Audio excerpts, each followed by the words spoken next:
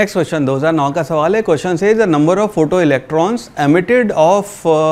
sorry emitted fall light of frequency mu higher than the threshold frequency mu naught is proportional to पहला option है आपका threshold frequency दूसरा है intensity of light तीसरा है frequency of light चौथा है दोनों का फ्रीक्वेंसी का डिफरेंस ना इसका बाय थ्योरी आपका आंसर होगा इंटेंसिटी ऑफ़ लाइट बिकॉज़ आपकी टोटल काइनेटिक एनर्जी या मैक्सिमम काइनेटिक एनर्जी वो है वो इस बात पर डिपेंड करती है कि आपकी आ, आपकी इंसिडेंट फोटोन की फ्रीक्वेंसी क्या है। लेकिन आ, कितने नंबर ऑफ़ फोटॉन्स आपके एमिट होंगे वो इस बात पे डिपेंड करते हैं कि आपकी इंटेंसिटी क्या है। So option number B would be the right answer